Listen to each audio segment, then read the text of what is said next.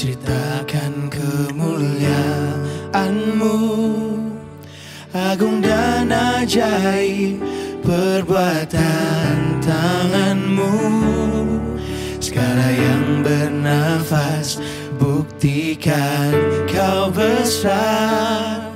Nyatakan kau Tuhan yang sempurna. Memandang betapa mulia kau Tuhan. Berlimpah kekagumanku akan engkau.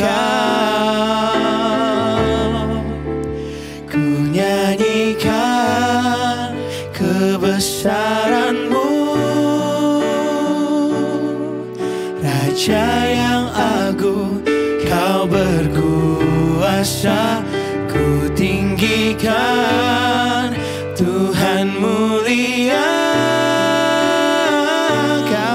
besar termegah sempurna Kau layak disembah.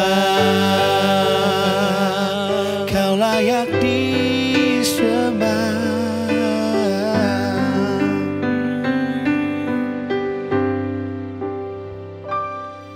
Langit menciptakan kemuliaanmu Agung dan ajaib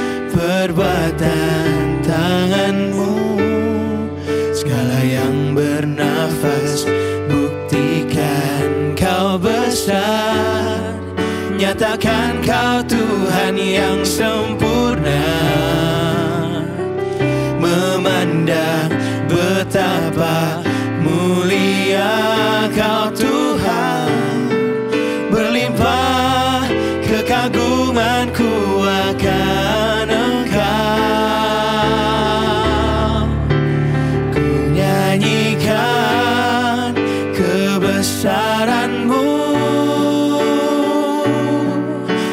Raja yang agung kau berkuasa Ku tinggikan.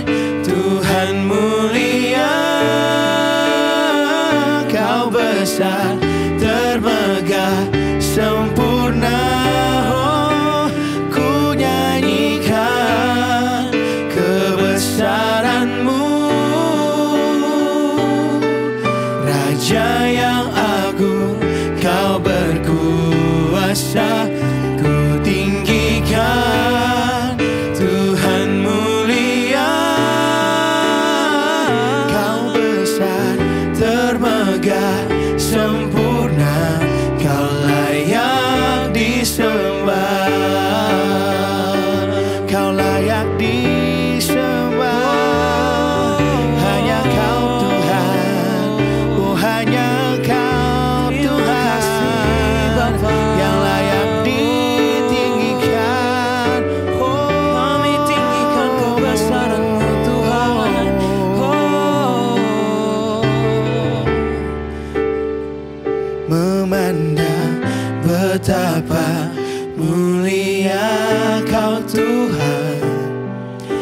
Berlimpah kekagumanku akan engkau Memandang betapa mulia kau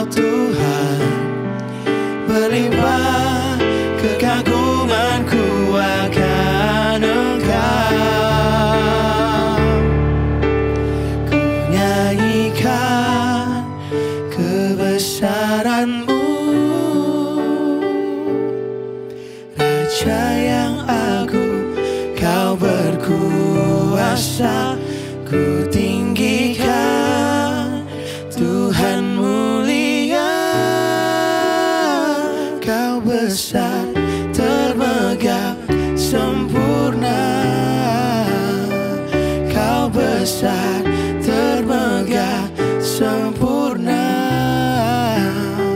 Kau besar termegah sempurna.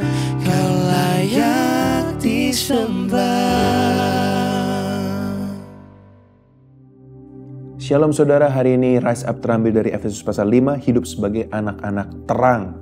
Saya senang sekali dengan ayat yang ke 14 ya saudara ya sampai ayat ke-17. Oke, itulah sebabnya dikatakan bangunlah hai kamu yang tidur dan bangkitlah dari antara orang mati dan Kristus akan bercahaya atas kamu. Karena itu perhatikanlah dengan seksama bagaimana kamu hidup. Janganlah seperti orang bebal tapi seperti orang arif. Dan pergunakanlah waktu yang ada karena hari-hari ini adalah jahat. Sebab itu janganlah kamu bodoh, tetapi usahakanlah supaya kamu mengerti kehendak Tuhan. Di sini dikatakan bahwa hari-hari ini adalah jahat. Bicara akhir zaman, bicara bahwa kedatangan Tuhan sudah dekat, bicara bahwa banyak sekali hal yang bisa mengganggu kita dan membawa kita jauh dari Tuhan. Nah, bagaimana kita mempergunakan waktu yang ada? Sesungguhnya ini ditulis saudara di dalam ayat 18 sampai ayat 21. Yang pertama dikatakan, gimana kita menggunakan waktu yang ada? Jangan mabuk oleh anggur, karena anggur menimbulkan hawa nafsu, tapi hendaklah kamu penuh dengan roh. Kita menggunakan waktu yang ada untuk kita bisa dipenuhi dengan Roh Kudus. Bagaimana caranya dipenuhi dengan Roh Kudus? Dijelaskan lagi di sana. Berkata-kata seorang kepada yang lain dalam Mazmur bicara penyembahan. Dan seorang akan yang lain. Berarti kita mengisi waktu-waktu yang ada dengan fellowship. Saudara berdoa sendiri di kamar is good. Tapi di sini dikatakan berkata-katalah seorang kepada yang lain. Berarti bicara fellowship, pertemuan, komunitas dalam Mazmur, kidung puji-pujian dan nyanyian rohani. Bernyanyi dan bersoraklah bagi Tuhan dengan segenap hati. Dan kedua, saudara, selain fellowship, sini adalah thanksgiving. Ucaplah syukur senantiasa atas segala sesuatu dalam nama Tuhan kita Yesus Kristus kepada Allah dan Bapa kita. Di sini sangat penting sudah bahwa di waktu-waktu akhir ini orang akan semakin banyak komplain, orang semakin banyak mengeluh akan kehidupan mereka. Bahkan riset membuktikan bahwa orang semakin diberkati ya di dalam negara-negara yang developed nations, developed countries itu tingkat depresi semakin tinggi dan tingkat komplain semakin tinggi. Mereka pikir kalau mereka kaya, banyak uang, mereka akan lebih senang. Ternyata tidak selalu seperti itu. Maka itu penting sudah selain fellowship. Yang kedua tadi thanksgiving, di mana kita mengisi waktu-waktu kita dengan thanksgiving. Caranya simple sekali. Praktekkan ini. Setiap jam saudara dalam hidup saudara, dari saudara bangun pagi sampai malam, temukan waktu untuk saudara bersyukur untuk sesuatu. Ya, saya bersyukur kopi ini rasanya enak. Saya bersyukur uh, saya bisa main sama anak-anak tadi pagi. Saya bersyukur hari ini Zelin pertama kali sekolah.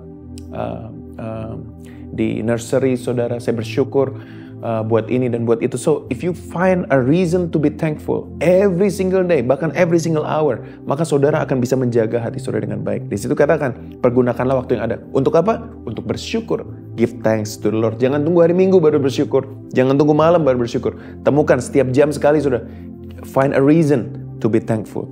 yang terakhir ini penting sekali, selain fellowship, thanksgiving. Terakhir penting sekali. Dan rendahkanlah dirimu seorang kepada yang lain di dalam takut akan Kristus. Suruh kerendahan hati adalah hal yang sangat penting karena banyak orang waktu dia merasa bisa, dia merasa hebat, dia akan sulit untuk humble, untuk rendah hati. Di sini katakan di hari-hari akhir, hari-hari ini adalah jahat. Kalau saudara mau maju dalam kehidupan saudara, saudara mau diberkati, saudara perlu punya hati yang uh, lembut untuk dibentuk. Maksudnya apa rendahkan hati? Seorang kepada yang lain. Uh, be open for feedback, be open for input. Always try to improve. Tanya kepada colleagues, tanya kepada bos-bos, apalagi yang saya bisa improve di dalam pekerjaan saya. Uh, tanya kepada saudara seiman, apalagi dalam karakter saya yang saya bisa improve. Rendahkan diri seorang kepada yang lain. Uh, every single uh, semester di Macquarie, di tempat saya mengajar, kita selalu ada namanya peer evaluation. Di mana teman saya masuk ke kelas, melihat saya mengajar, lalu pakai form, dia isi, isi dan dia bilang, oh ini yang bisa diimprove ini yang udah bagus, ini yang bisa diimprove. Kita lakukan itu terus. Itu apa? Kita berarti kita merendahkan diri seorang pada yang lain karena kita tahu we're not a perfect teacher. We need to always grow. Maka kita mau supaya orang-orang juga bisa semakin improve. Inilah praktek sederhana merendahkan diri seorang kepada yang lain. So, bagaimana menggunakan waktu yang ada? Di sini jelas tiga poin saudara. Yang pertama adalah fellowship satu dengan yang lain. Yang kedua, thanksgiving every hour. Saudara, isi waktu saudara dengan thanksgiving. Dan yang ketiga, rendahkan diri satu dengan yang lain. Salinglah membangun, saling uh, supaya semua bisa bertumbuh, saling memberikan positive feedback to one another sehingga kita semua semakin serupa dengan Kristus saudara. Saya orang yang sangat terbuka dan saya selalu tanya kepada anak istri, uh, what what else can we do? Can I do to be a better husband, to be a better father? Karena saya juga ingin selalu untuk bisa bertumbuh dan semakin serupa dengan Kristus. Mari saudara, kita hidup sebagai anak-anak terang di hari-hari akhir ini. Waktu-waktu adalah jahat. Pergunakan waktu dengan baik. Dengan ucapan syukur, fellowship, dan juga merendahkan diri satu dengan yang lain. Mari kita berdoa. Bapak yang bersyukur buat hari ini. Kami berdoa Tuhan supaya di hari-hari yang jahat ini kami benar-benar menggunakan waktu dengan baik. Kami bersyukur untuk diingatkan Tuhan bahwa fellowship sangat penting. Kami rindu Tuhan terus berfellowship satu dengan yang lain. Di FC kami, di komunitas kami. Dan juga uh, to be thankful Lord For every single thing that you do. Bukan hanya waktu seminggu sekali kami bersyukur. Tapi hari ini kami bersyukur Tuhan. Buat segala sesuatu yang Tuhan sudah kerjakan dalam hidup kami. Yang ketiga Tuhan kami rindu merendahkan diri. Seorang dengan yang lain. Supaya kami bisa saling membangun. Kami bisa saling bertumbuh Tuhan. Dan kami semua semakin dibentuk serupa dengan Kristus. Kami menggunakan waktu-waktu ini dengan baik Tuhan. Dan kami mau mengerti kehendak Allah. Supaya kami bisa hidup dalam kehendak Allah yang sempurna. Terima kasih Bapa. Kami bersyukur serahkan hari ini dalam tangan Tuhan. Dalam nama Yesus kami berdoa. Amin. God bless you. I'll see you next time. Efesus 5. Hidup sebagai anak-anak terang. Sebab itu jadilah penurut-penurut Allah, seperti anak-anak yang kekasih. Dan hiduplah di dalam kasih. Sebagaimana Kristus Yesus juga telah mengasihi kamu dan telah menyerahkan dirinya untuk kita sebagai persembahan dan korban yang harum bagi Allah. Tetapi percabulan dan rupa-rupa kecemaran atau keserakahan. Disebut saja pun jangan di antara kamu, sebagaimana sepatutnya bagi orang-orang kudus. Demikian juga perkataan yang kotor, yang kosong atau yang sembrono. Karena hal-hal ini tidak pantas, tetapi sebaliknya ucapkanlah syukur. Karena ingatlah ini baik-baik, tidak ada orang sundal, orang cemar atau orang serakah, artinya penyembah berhala, yang mendapat bagian di dalam kerajaan Kristus dan Allah. Janganlah kamu disesatkan orang dengan kata-kata yang hampa. Karena hal-hal yang demikian mendatangkan murka Allah atas orang-orang durhaka. Sebab itu janganlah kamu berkawan dengan mereka. Memang dahulu kamu adalah kegelapan, tetapi sekarang kamu adalah terang di dalam Tuhan. Sebab itu hiduplah sebagai anak-anak terang, karena terang hanya berbuahkan kebaikan dan keadilan dan kebenaran, dan ujilah apa yang berkenan kepada Tuhan. Janganlah turut mengambil bagian dalam perbuatan-perbuatan kegelapan, yang tidak berbuahkan apa-apa, tetapi sebaliknya telanjangilah perbuatan-perbuatan itu. Sebab menyebutkan saja pun apa yang dibuat oleh mereka di tempat-tempat yang tersembunyi telah memalukan. Tetapi segala sesuatu yang sudah ditelanjangi oleh terang itu menjadi nampak, sebab semua yang nampak adalah terang. Itulah sebabnya dikatakan, Bangunlah, Hai kamu yang tidur dan bangkitlah dari antara orang mati, dan Kristus akan bercahaya atas kamu. Karena itu, perhatikanlah dengan saksama, bagaimana kamu hidup. Janganlah seperti orang bebal, tetapi seperti orang arif, dan pergunakanlah waktu yang ada, karena hari-hari ini adalah jahat. Sebab itu janganlah kamu bodoh, tetapi usahakanlah supaya kamu mengerti kehendak Tuhan. Dan janganlah kamu mabuk oleh anggur, karena anggur menimbulkan hawa nafsu, tetapi hendaklah kamu penuh dengan roh. Dan berkata-katalah seorang kepada yang lain dalam Mazmur kidung puji-pujian dan nyanyian rohani. Bernyanyi dan bersoraklah bagi Tuhan dengan segenap hati. Ucaplah syukur senantiasa atas segala sesuatu dalam nama Tuhan kita Yesus Kristus kepada Allah dan Bapa kita dan rendahkanlah dirimu seorang kepada yang lain di dalam takut akan Kristus. Kasih Kristus adalah dasar hidup suami istri. Hai istri, tunduklah kepada suamimu seperti kepada Tuhan. Karena suami adalah kepala istri, sama seperti Kristus adalah kepala jemaat. Dialah yang menyelamatkan tubuh. Karena itu sebagaimana jemaat tunduk kepada Kristus, Demikian jugalah istri kepada suami dalam segala sesuatu. Hai suami, kasihilah istrimu sebagaimana Kristus telah mengasihi jemaat dan telah menyerahkan dirinya baginya untuk menguduskannya. Sesudah ia menyucikannya dengan memandikannya dengan air dan firman, supaya dengan demikian ia menempatkan jemaat di hadapan dirinya dengan cemerlang tanpa cacat atau kerut atau yang serupa itu, tetapi supaya jemaat kudus dan tidak bercela. Demikian juga suami harus mengasihi istrinya sama seperti tubuhnya sendiri. Siapa yang mengasihi istrinya mengasihi dirinya sendiri. Sebab tidak pernah orang membenci tubuhnya sendiri, tetapi mengasuhnya dan merawatinya, sama seperti Kristus terhadap jemaat, karena kita adalah anggota tubuhnya. Sebab itu laki-laki akan meninggalkan ayahnya dan ibunya dan bersatu dengan istrinya, sehingga keduanya itu menjadi satu daging. Rahasia ini besar, tetapi yang aku maksudkan ialah hubungan Kristus dan jemaat. Bagaimanapun juga, bagi kamu masing-masing berlaku, kasihilah istrimu seperti dirimu sendiri dan istri hendaklah menghormati suaminya.